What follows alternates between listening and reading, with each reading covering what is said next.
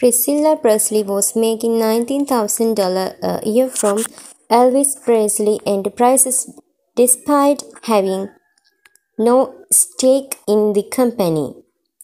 According to a lawsuit, when Priscilla's daughter, Lisa Marie Presley, sued her former business manager, Barry Siegel, in 2018 for negligently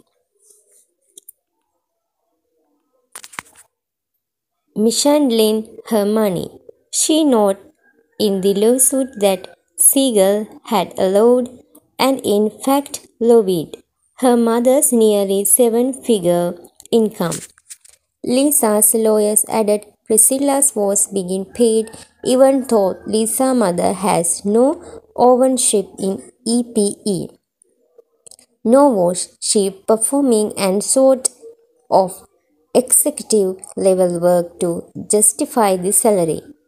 Siegel failed to disclose this fact to Lisa and he did not negotiate the same salary benefits for Lisa.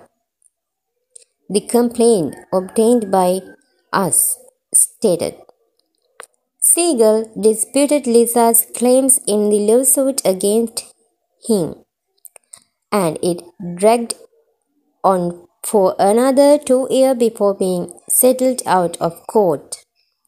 However, the scathing document could yet work in Priscilla's favor.